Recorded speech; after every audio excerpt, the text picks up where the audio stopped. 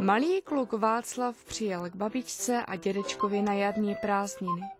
Vystoupí z vlaku a už si to šine přímo k chalupě s velkým batohem na zádech. Na zápraží ho netrpělivě vyhlíží dědeček s babičkou. Jakmile Vaška uvidí, běží mu naproti, podávají mu ruku a objímají ho. Vašek je celý šťastný, že už je na prázdninách.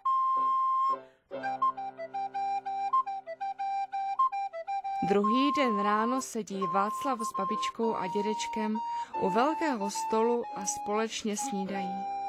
Po snídani se náš dobrodruh rozhodl, že se vypraví ven. Vstál od stolu, oblékl si na sebe vše potřebné, dal si batoh na záda a vyrazil ze dveří.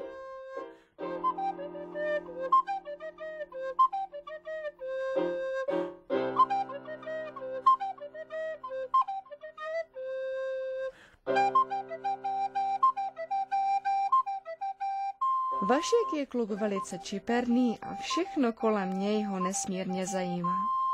Nejraději ze všeho má přírodu. Proto často chodí na louku, kde si vždycky sundá batoh, ze kterého vytáhne třeba čepici a nádobu na žížali.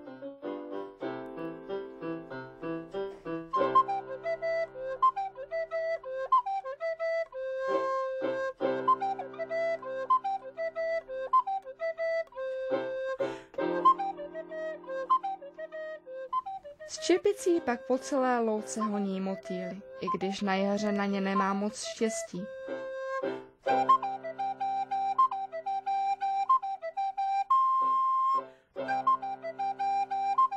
Do sklenice sbírá žížaly a kobylky a k nedaleké řece chodí lovit ryby jen tak holýma rukama, ale rybu ne a ne chytit.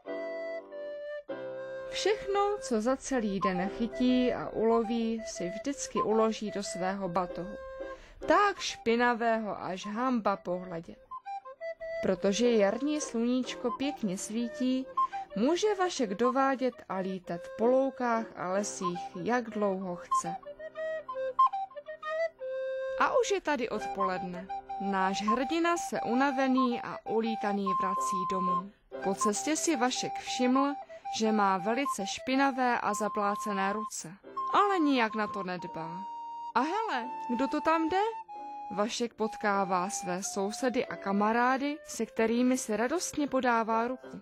Když si sousedé ruku prohlédli, zjistili, že ji mají zrovna tak špinavou jako Vašek. To se hned velice kysele zašklebili, hrozili na Vaška prstem a kroutili hlavou nad tím, jaký je špindír. Když se pak Václav vrátil zpátky do chalupy, dědeček s babičkou si prohlédli jeho špinavé ruce a snažili se mu několikrát domluvit, aby si ruce umýval.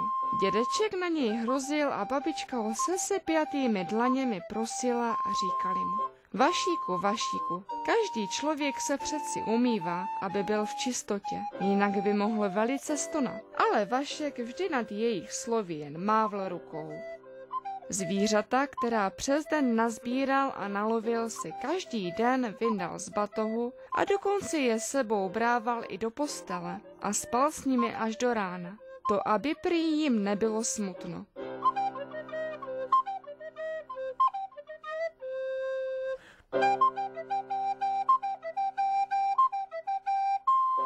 Pokaždé, když prarodiče přišli k Vaštíkově posteli, zhrozili se, jaký je jejich vnuk Špindíra. Byli z jeho počínání velice nešťastní a snažili se Vašíka přemluvit, aby takovou věc nedělal. Jenže Vašek si nedal říct.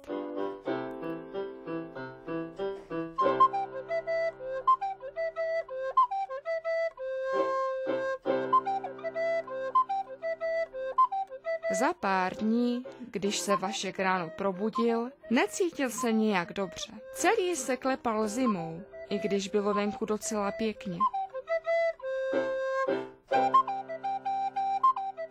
Babička s dědečkem si dělali velké starosti.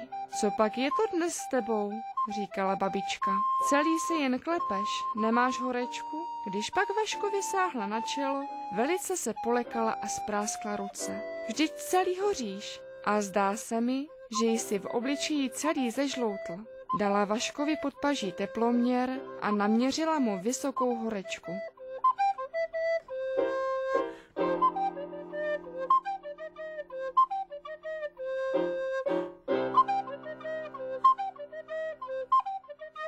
Potom řekla dědečkovi, dědečku, honem musíme pro paní doktorku Novákovou, aby se nám na Vašíka podívala.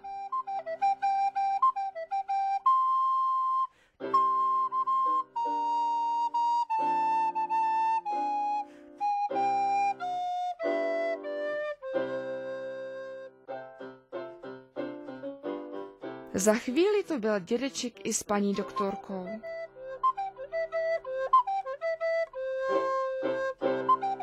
Paní doktorka povídá, tak kde pak máme pacienta?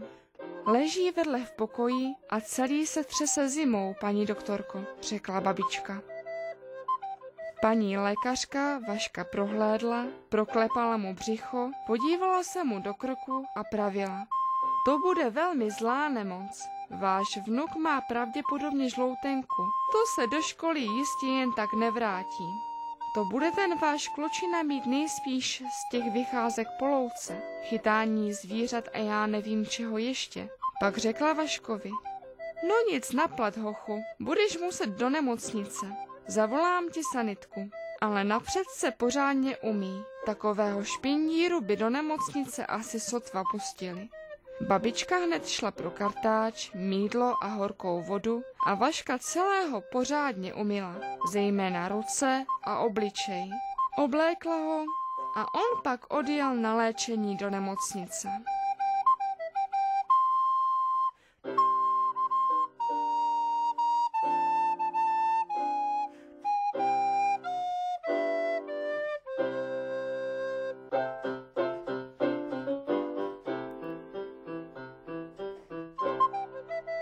To se ví, že za Vaškem chodili do nemocnice návštěvy. Skoro každý den.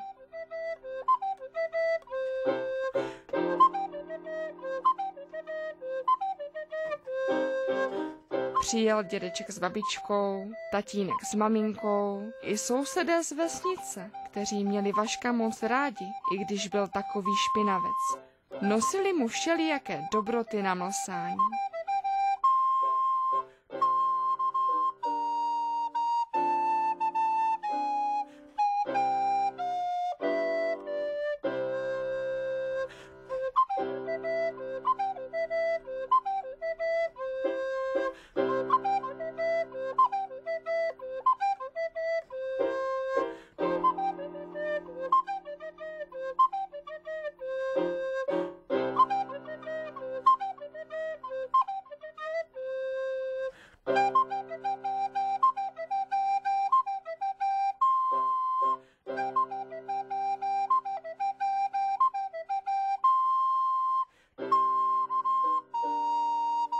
Když to ale viděl velmi přísný vrchní zdravotní bratr, který měl za úkol na Vaška dohlížet, návštěvníky pokáral a Václav musel zase všechny ty dobroty vrátit zpět, protože držel přísnou dietu.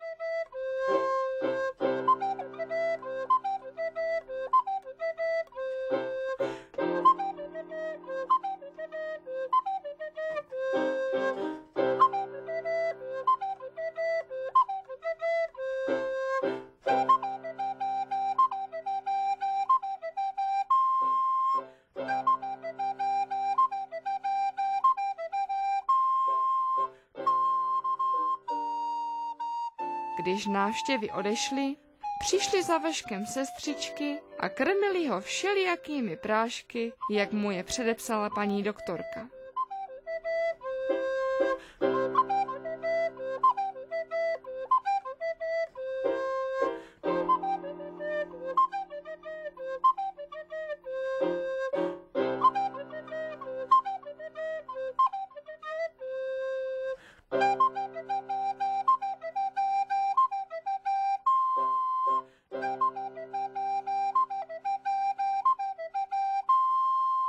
Sestřičky, které se tak vzorně o Vaška starali, chodil každý den kontrolovat ten velmi přísný zdravotní bratr, který Vaškovi zakázal ty tuze dobré sladké věci. Vždycky dohlížel na to, aby se všem pacientům dostávalo té nejlepší péče, jakou si jistě zasloužili. Když bylo vše v pořádku, všechny sestřičky pěkně pochválil. Jakmile však shledal na oddělení nepořádek, sestřičkám pěkně od plic vyhuboval.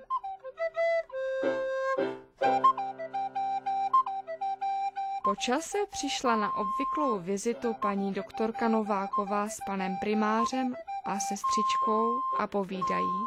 No, vidíme, Vašíku, že už si zdraví jako řepa. Můžeš tedy jít domů. A Vašek byl velice rád.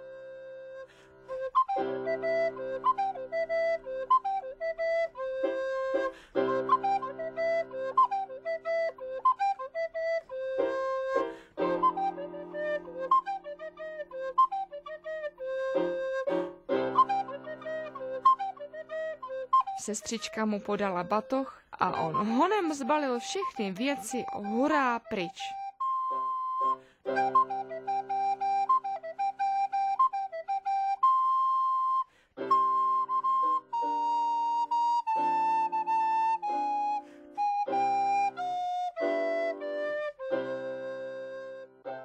Když byl zpátky u dědečka a babičky, bylo mu pak velmi líto toho, že si tak pokazil prázdniny.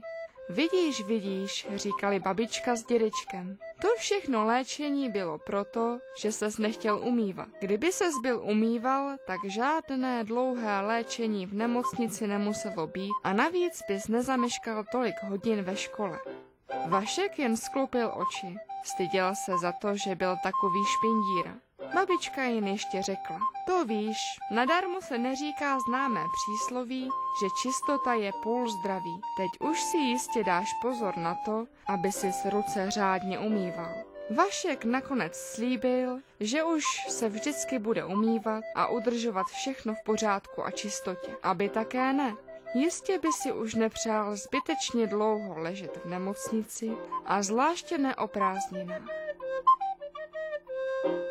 Na druhý den přijeli maminka s tatínkem a Vašek odcestoval zpátky domů za svými školními povinnostmi.